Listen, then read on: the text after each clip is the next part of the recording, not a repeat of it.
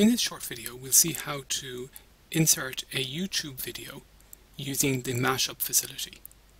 So in this course we're going to go to course materials and making sure that editing is on up here we're going to choose build content go down to mashups and we can insert pictures from Flickr presentations from SlideShare and YouTube videos directly using the mashup facility.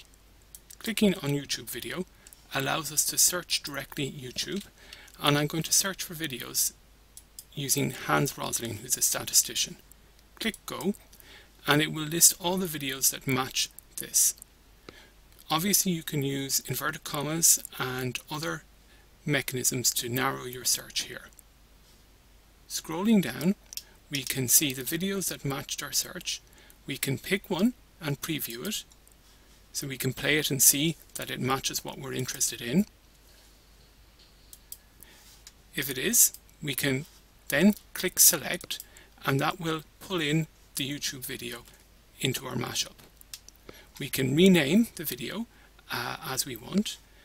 The video will be inserted here. We can also add some instructions for students about what to do with the video.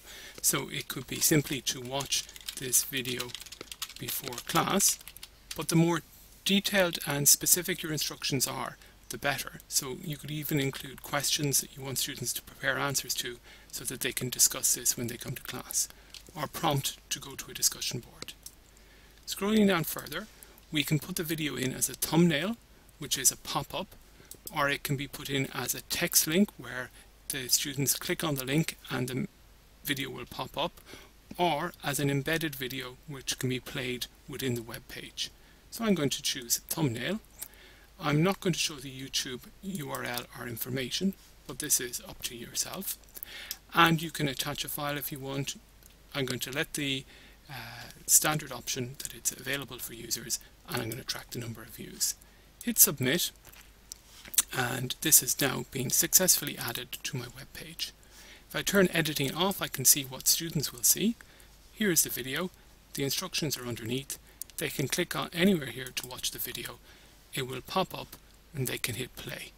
If they want to watch the video in full screen mode, they have to click on YouTube up here and that will bring them to YouTube to watch the video directly there. Okay, that's it.